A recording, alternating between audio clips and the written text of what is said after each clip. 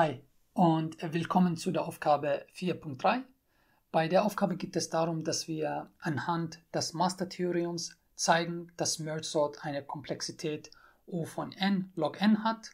Zuerst würde ich aber ähm, gerne das Prinzip von Merge Sort erklären, bevor wir uns dann ähm, den Code anschauen und anhand vom Code die Variablen bestimmen, die wir für die Rekursionsgleichung äh, benötigen. Das Merge Sort an sich basiert auf das Divide and Conquer Prinzip.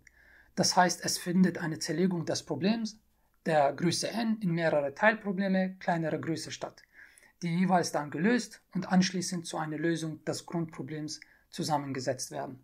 Wenn wir uns hier die Veranschaulichung ähm, genau anschauen, sehen wir, dass sich hier die Eingabe um ein unsortiertes Array handelt. Und unser Ziel ist es natürlich dabei, das Array effizient wie möglich zu sortieren. Denn ähm, generell gehen wir ähm, hier in drei Schritten voran. Zuerst, wir versuchen das Array in zwei Hälften zu splitten und das machen wir dann so lange, bis das Array aus einzelnen Elementen besteht. Dann gehen wir zum nächsten Step und versuchen diese Elemente zu sortieren. Zum Beispiel, ähm, wie ihr hier in der Abbildung sehen könnt, vertauschen wir beispielsweise die Positionen ähm, der Zahlen 50 und 70, nachdem wir diese gesplittet haben und äh, merchen diese dann zu einer Menge und somit haben wir äh, wie gewollt unser sortiertes Array. Nun schauen wir uns äh, den Python-Code vom Merge Sort genauer an und versuchen da das Master-Theorem darauf anzuwenden. An sich besteht der Code nur aus zwei Methoden, Merge Sort und Merge.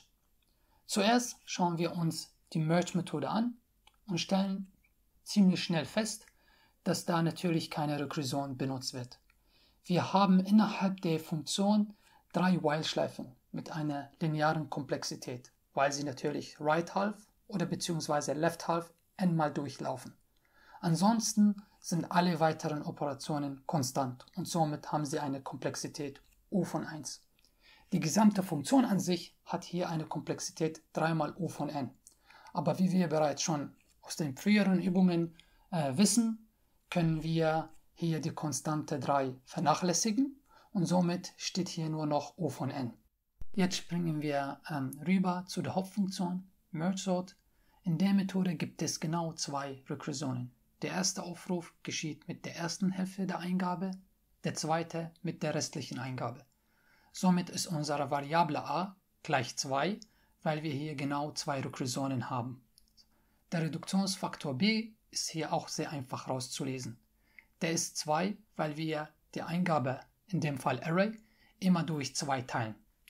Der restliche Aufwand besteht eigentlich nur noch aus Operationen konstanter Komplexität als Vorbereitung auf die Rekursion und dem Merge, der ja wie zuvor festgestellt lineare Komplexität besitzt.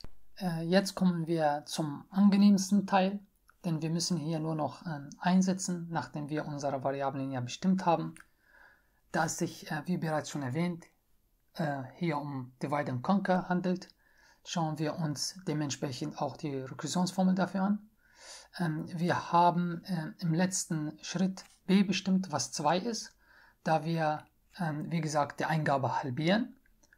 a haben wir auch bestimmt, was gleich 2 ist, da wir Merge Sort im Rekursionsschritt jeweils ja zweimal aufrufen.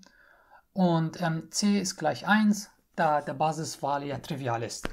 Äh, diese setzen wir jetzt nun in die Gleichung ein und haben somit ähm, t von n 2 mal t mal n durch 2 plus o von n. Ähm, jetzt versuchen wir unser d zu bestimmen, ähm, was in dem Fall 1 ist, weil unsere ähm, Funktion f von n gleich ja o von n ist, was nichts anderes ist wie o von n hoch 1 und der Exponent, in dem Fall die 1, ist ja gleich d. Dann ähm, setzen wir unser d ähm, gleich dem Logarithmus a zur Basis b, weil der Logarithmus a zur Basis b in dem Fall ja auch 1 ist. Nachdem wir für a eine 2 einsetzen und für b einsetzen, dann ergibt sich hier auch der Logarithmus 2 zur Basis 2, was im Endeffekt auch 1 ist. Das heißt, wir ähm, schauen uns den zweiten Fall an, was die Komplexität O von n hoch d mal log n ergibt.